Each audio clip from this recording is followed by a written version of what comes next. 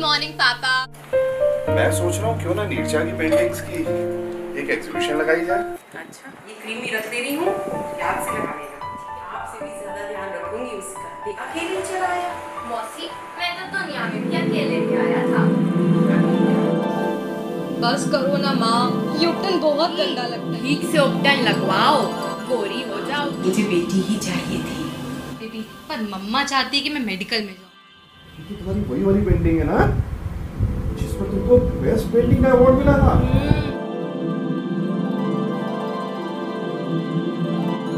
सब कुछ करूँगी। तुम्हारा हर सपना ज़रूर पूरा करूँगी। कहने की बात है दीदी की सांवलेपन से क्या होता है? तुमने नीरजा के सांवलेपन को कुछ ज़्यादा बड़ा इशू बना रखा है। इतनी शानदार पेंटिंग है ना सुनीता? और ये देखो पागल।